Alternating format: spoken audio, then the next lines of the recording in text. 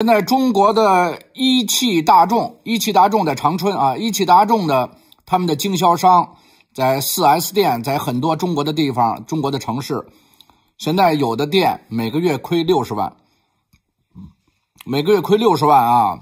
这些老板呀、员工啊、部门经理也都非常焦虑，一个月六十万，一年就七百二十万，现在完不成任务，没有销量，然后还得开着店，雇着人，人吃马喂，对吧？水费、电费、税费，对吧？这全是钱呀！瑞典首都发生爆炸了，瑞典，瑞典首都昨天三月五号，首都斯德哥尔摩发生两起爆炸事件。有七个人受伤，在斯德哥尔摩南部有一栋公寓楼的楼梯间发生了爆炸，五个人受轻伤，一个人因涉嫌犯罪，应该是他安的炸弹被捕。然后凌晨在斯德哥尔摩叫利丁俄的一个地方，一栋公寓楼入口处又发生爆炸，两个人又负了轻伤。现在啊，正在调查这个两起爆炸案件之间是否有联系。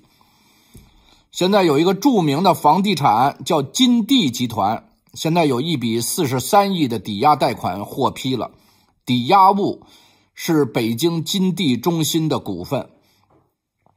交通银行啊，这个金地集团的融资计划现在逐步的就落实了，交通银行批准了金地集团，它是在上证啊，上海证券的那个，它这个代码是六零零三八三点 sh。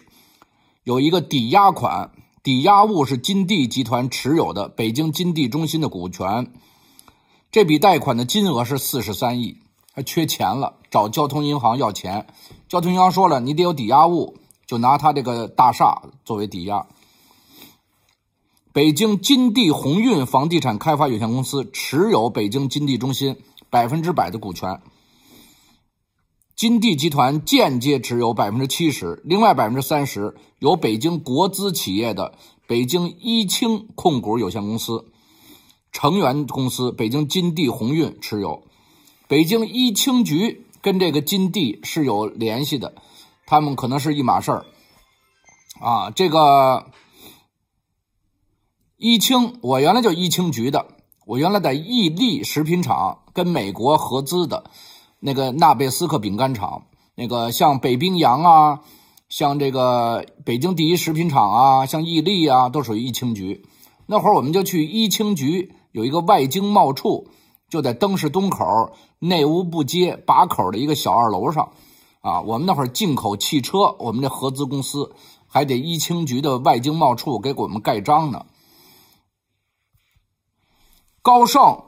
现在高盛也说了，美国著名的投资银行高盛财富管理首席投资官警告，不要投资中国了，强调中国市场现在有太多的不确定性。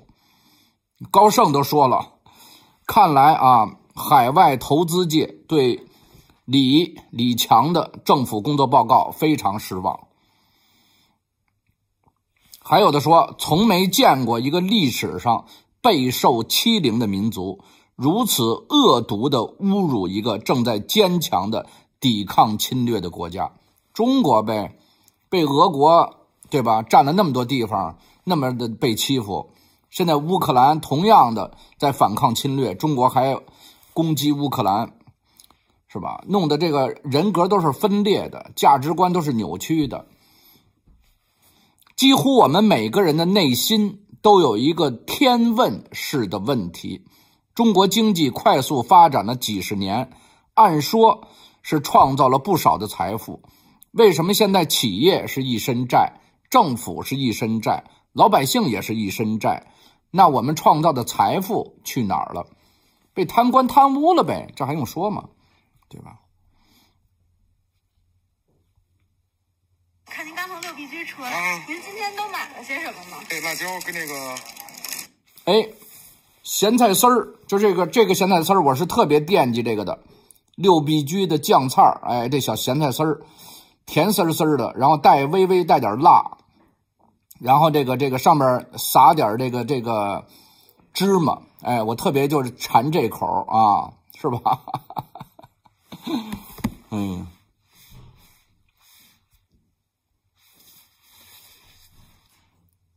真的假的不说，他买的不上街，您知道吗吃的也不舒服。哎，对，哎，我不瞒您说，我没牙，我这老妈爱吃咸菜，对，好老伴儿爱吃这口，哎，给他买点。专门给他来来点儿。